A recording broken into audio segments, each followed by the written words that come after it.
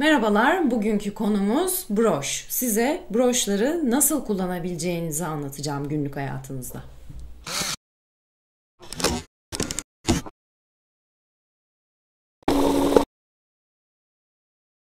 Üzerimde görmüş olduğunuz bu Burberry ceketin üstüne bir takım broşlar taktım. Görmüş olduğunuz gibi bunlar 80'lerden 90'lardan bir takım broşlar.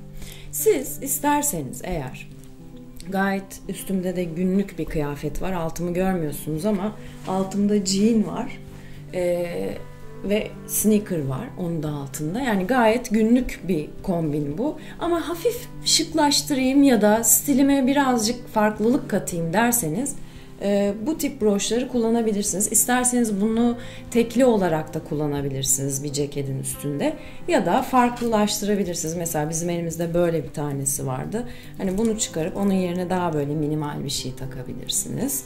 Fazla geldiyse.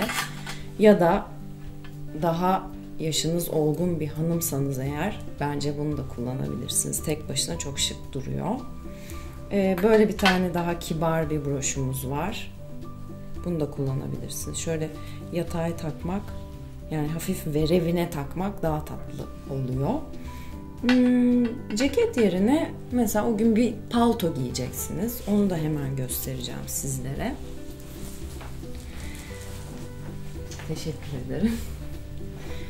Bu da Roland Mouret bir oversize bir palto.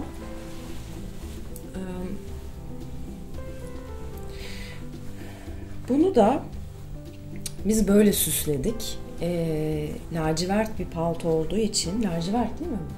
Siyah. Siyahmış pardon. E, siyah bir palto olduğu için yani biraz laciverti de andırıyor aslında gün ışığında. Evet. E, kesimi çok güzel, modeli çok güzel. E, böyle hani renkli taşlarla birazcık şenlendirmek istedik. E, bu 80'ler Yves Saint Laurent bir broş. E, bu 60'lardan kalma.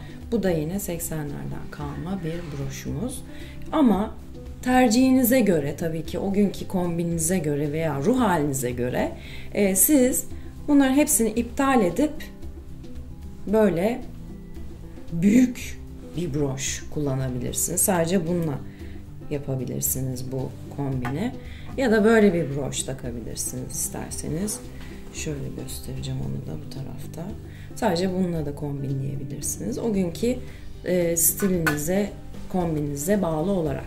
Evet, son olarak da bu Chanel ceketin üstüne böyle bir şey uyguladık. Bu broşları taktık. Hepsini bir arada kullandık. Burada 60'lar, 80'ler, 90'lar her dönemden broşlar var. Ee, madalya tipi de bir broş var. Bunu da tek başına kullanabilirsiniz. Veya e, veya bunu yani hepsini çıkarıp tek bir broşla takabilirsiniz. Şu şekilde de kullanabilirsiniz. Bu Roland Mouret palto için ayrıca şunu söylemeyi unuttum. E, bu taşlılardan da kullanabilirsiniz. Mesela şık bir e, geceye gidiyorsunuz, bir davete gidiyorsunuz.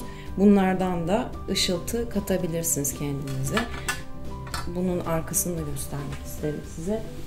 Böyle trench coat havalarında bir palto. Broşlardan bahsettik. Biraz dönemlerinden ve nasıl kullanabileceğinizden bahsettik günlük hayatınızda.